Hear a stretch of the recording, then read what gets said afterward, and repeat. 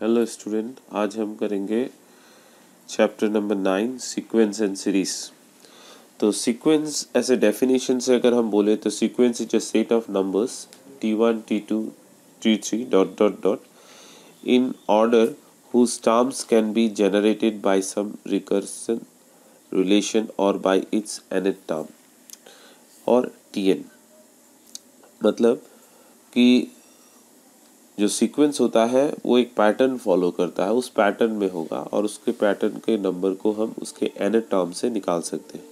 ये वाला आपको क्लास टेन में भी मिला था चैप्टर जैसे यहाँ पे वन है टू है थ्री है फोर है, इसको हम बोल सकते हैं कि ये सीरियली बढ़ता जा रहा है। नेक्स्ट वाला नंबर क्या होगा? फाइव होगा, हम इजीली बता सकते हैं। उसी तरह से अगर मैंने टू लिख दिया फोर लिख दिया सिक्स लिख दिया सेवन लिख दिया तो ये भी क्या होगा? एक पैटर्न में होगा। ये कितना है? सॉरी इट्स एट तो ये सब दो दो करके बढ़ रहा है, इसको हम ऐसे लिख सकते हैं।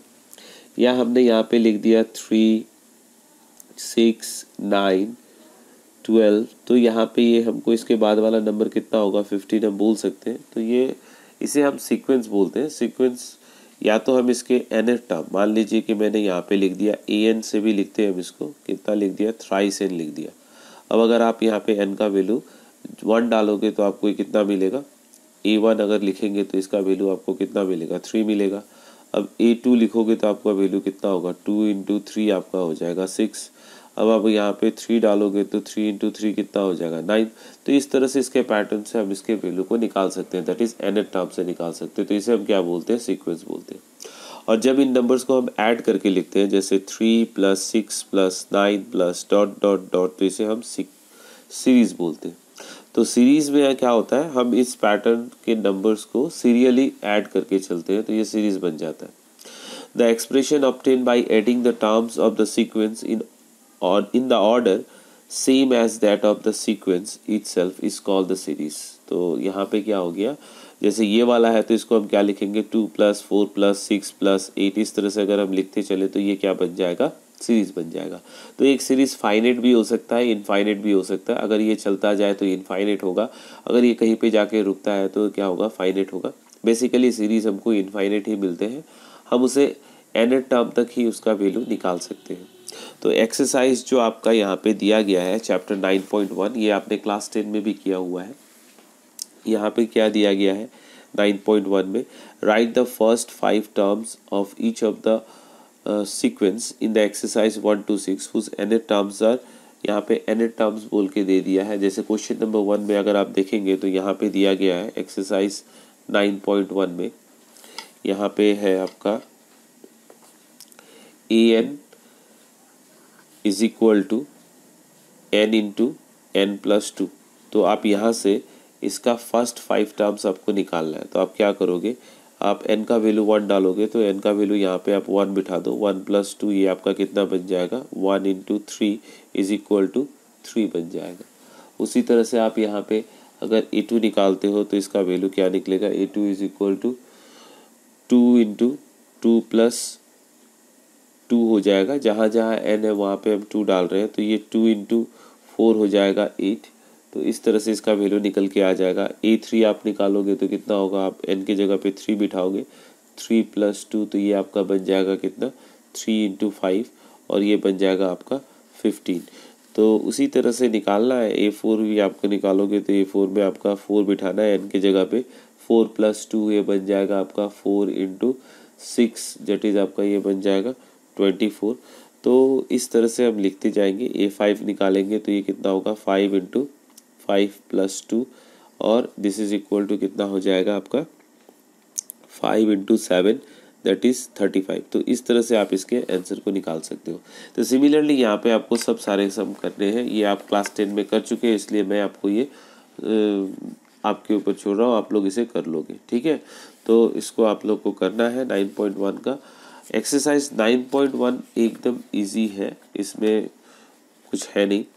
सिंपली ये वन मार्क के क्वेश्चंस के लिए ज़्यादा दिया जाता है। अब यहाँ पे क्वेश्चन नंबर इलेवन पे अगर मैं आता हूँ डायरेक्टली इसी तरह से बाकी सब में दिया गया है।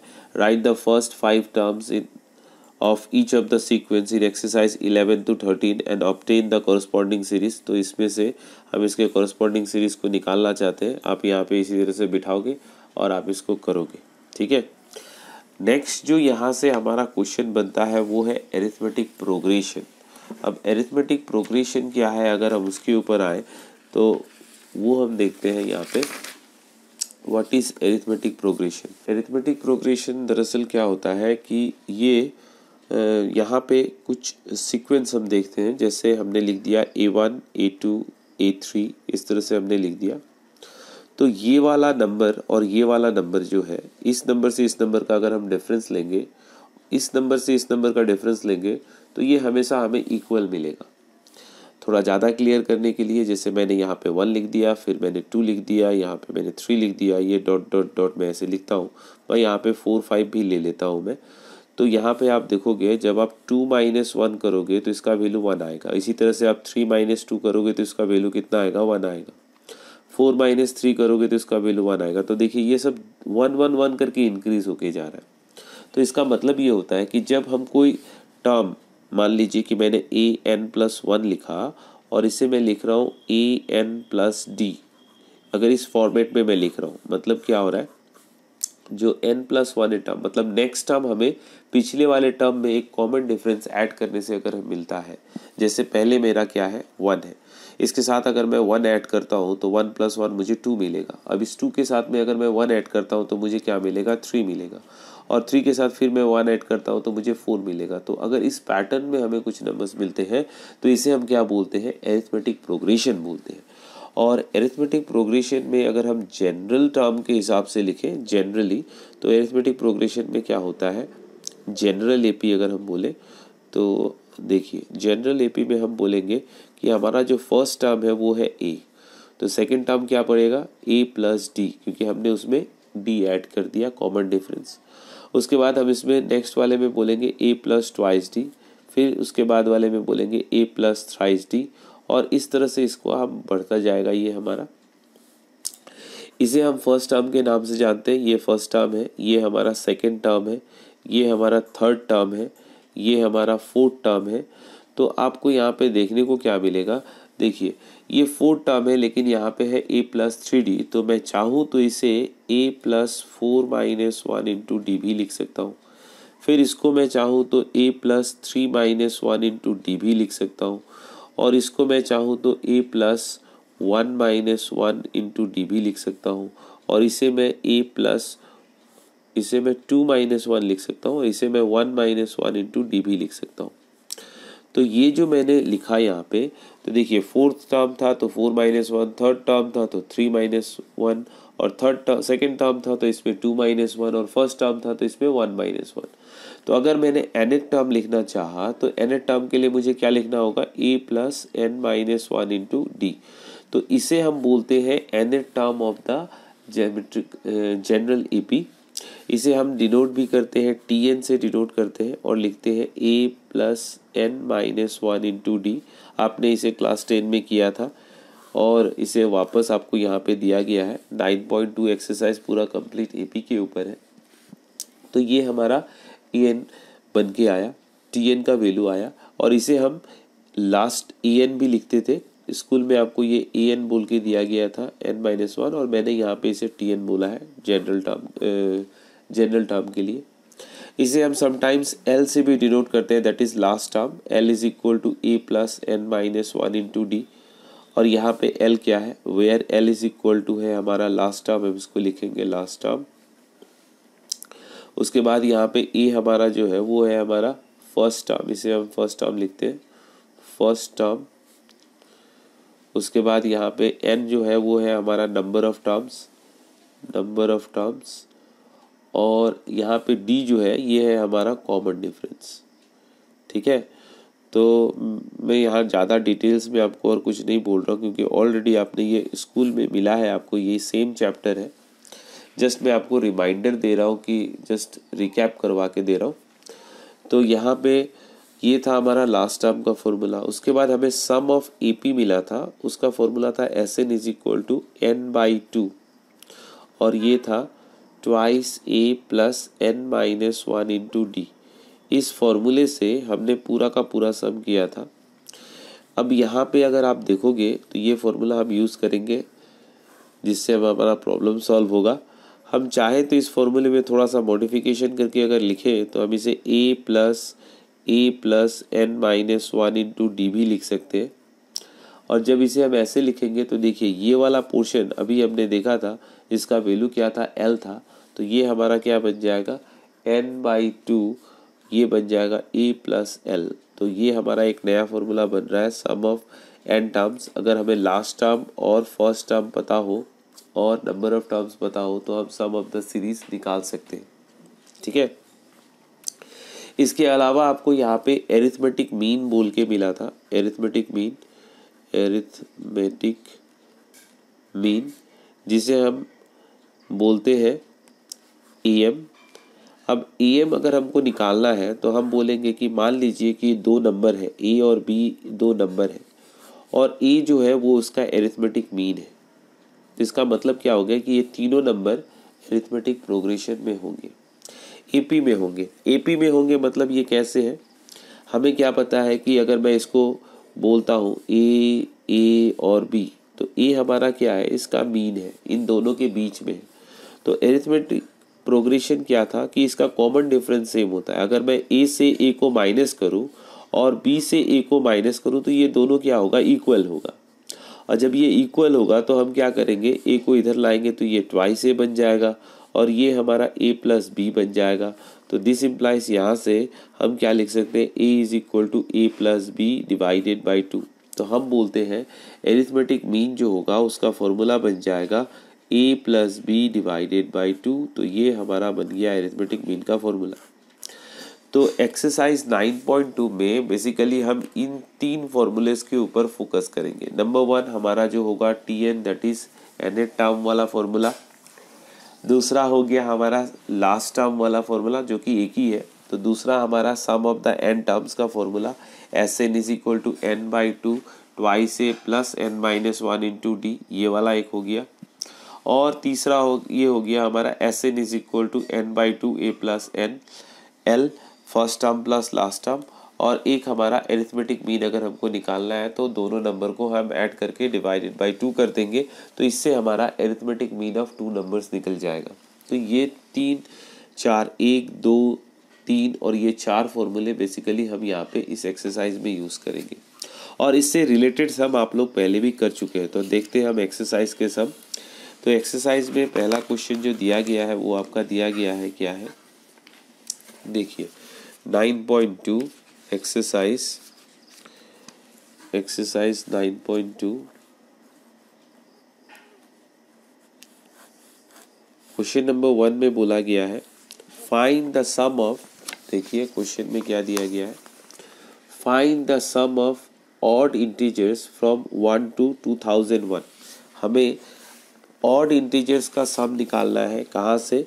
वन से लेके one to two thousand one तक। ऑड इंटीजर्स अब देखिए, यहाँ से सम ऑफ़ ऑड इंटीजर्स बोलेंगे तो हम क्या बोलेंगे? वन बोलेंगे प्लस थ्री बोलेंगे प्लस फाइव बोलेंगे प्लस ऐसे करके डॉट डॉट करते हुए लास्ट में हमारा ये टू थाउज़ेंड वन आएगा।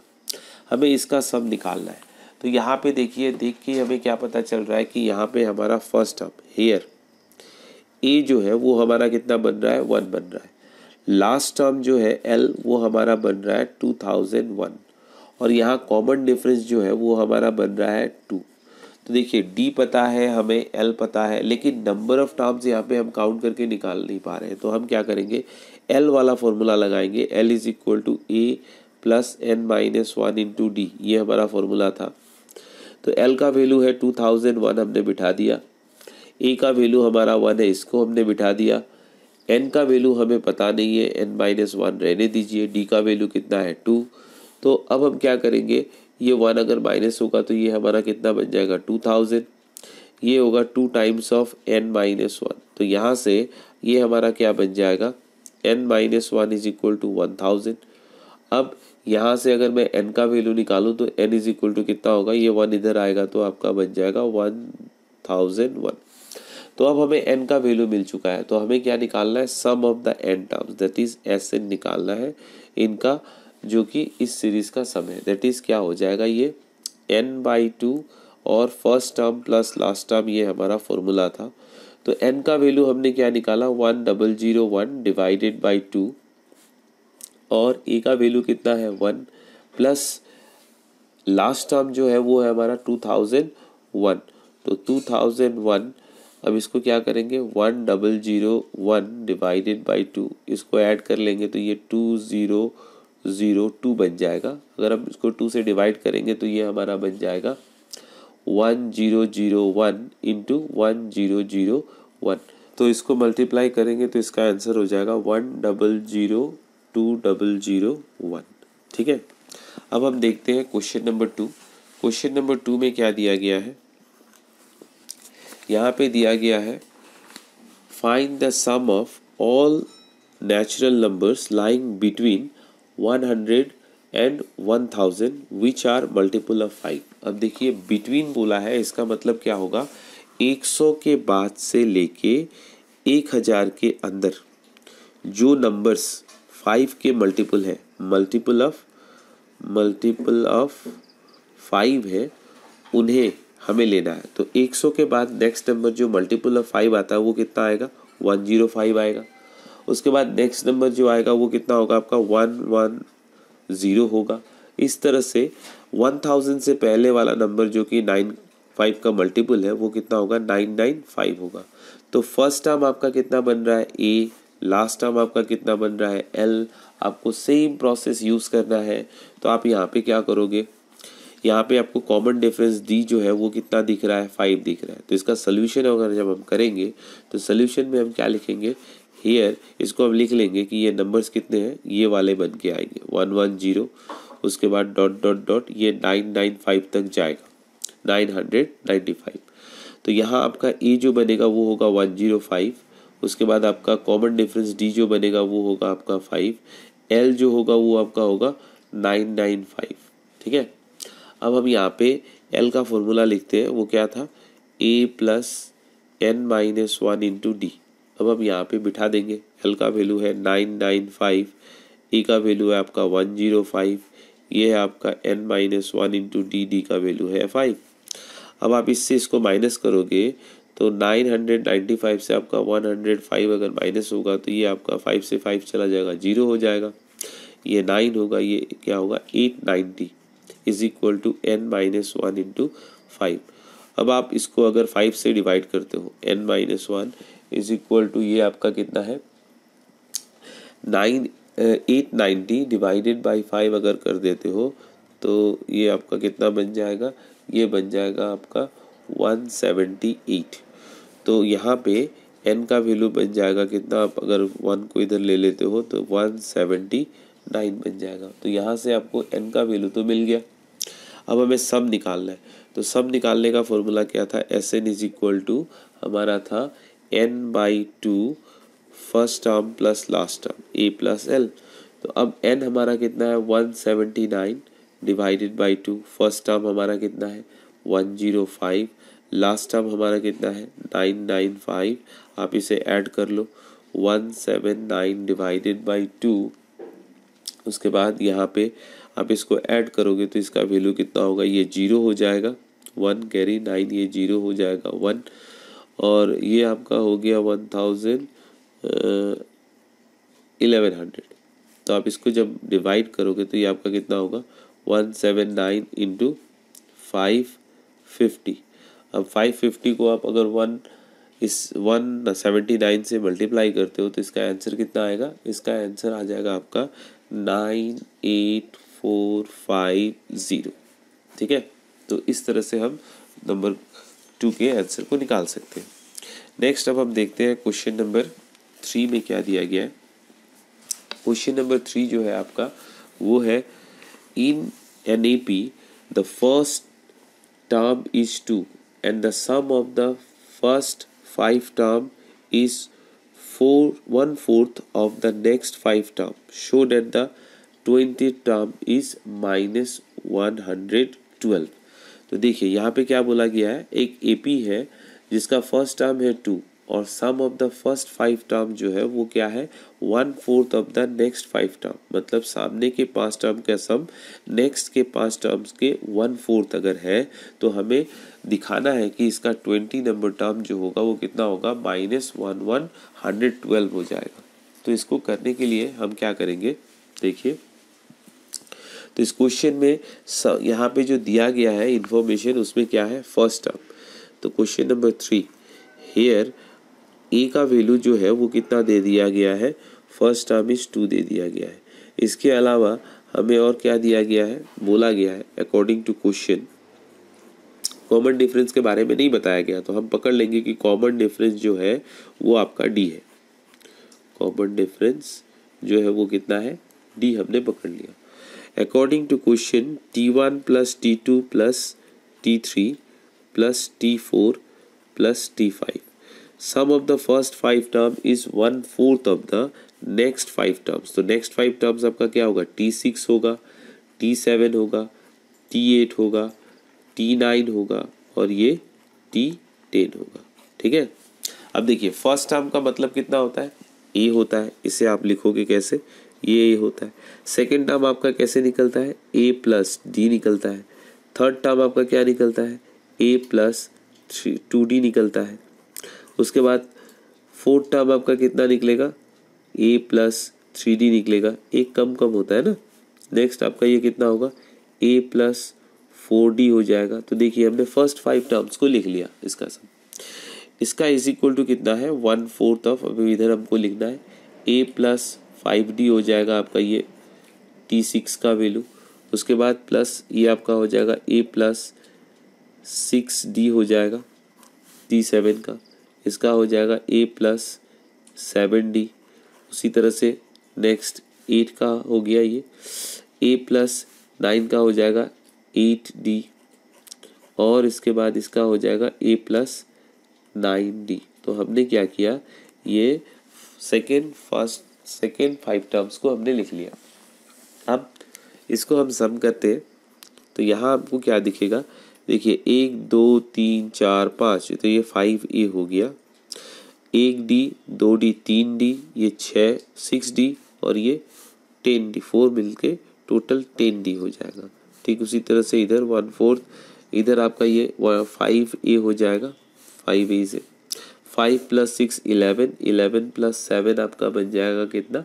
एटीन एटीन प्लस एट बन जाएगा ट्वेंटी सिक्स और ट्वेंटी सिक्स प्लस नाइन आपका बन जाएगा थर्टी फाइव तो ये हो जाएगा प्लस थर्टी फाइव डी। ठीक है? अब इस फोर से आप इसको मल्टीप्लाई कर दो तो ये आपका कितना बन जाएगा? ये हो जाएगा आपका twenty a plus forty d is equal to five a plus thirty five d. अब इसे हम थोड़ा सिंप्लीफाई कर लेते हैं। अब इससे अगर हम क्या करेंगे, ये माइनस करेंगे तो ये हमारा हो जाएगा फिफ्टीन ए। और इसे इधर लाएँगे तो ये माइनस फाइव डी बन जाएगा। तो यहाँ से अगर हम कैंसिल करते हैं तो यहाँ से आपको डी का वैल्यू कितना मिलेगा? D is equal to minus fifteen a by five मिलेगा। और ये कितना बन जाएगा? माइनस थ्री ए बन जाएगा। और ए का वैल्यू हमें कितना दिया गया है? टू दिया गया है तो माइनस थ्री इंटू टू, ये बन जाएगा आपका माइनस सिक्स। तो डी का वैल्यू हमें मिल गया, ए का वैल्यू हमें मिल गया तो अभी हमें क्या निकालना है? टी ट्वेंटी निकालना है। और टी ट्वेंटी का फॉर्मूला कितना होगा? जो भी होगा, वो हम क्या लिखेंगे? A plus twenty minus one. एक कम लिखते हैं, क्योंकि हमारा फॉर्मूला क्या था? एन माइनस वन और ये डी। तो ये कितना होगा? A plus nineteen d. अब देखिए, ए का वैल्यू कितना है? टू। उसके बाद ये हो गया आपका नाइनटीन और डी का वैल्यू कितना है? Minus six. तो ये हमारा कितना होगा? टू माइनस ये हमारा हो जाएगा वन वन, फोर। अब इससे इसको माइनस करेंगे तो कितना होगा? ये one one, two. Minus one hundred twelve. आ गया हमारा आंसर ठीक है? तो इस तरह से आपको यहाँ एक्सरसाइज 9.2 के सम को करना है। तो आज आप 9.1 के सबको कंप्लीट करोगे और 9.2 के बाकी सबको आप कोशिश करोगे। आप जितना तक कर सकते हो, आपको करना है। रेस्ट नेक्स्ट जो भी बचता है, वो सब मैं आपको नेक्स्ट वीडियो में दूँगा। ठीक है? Thank you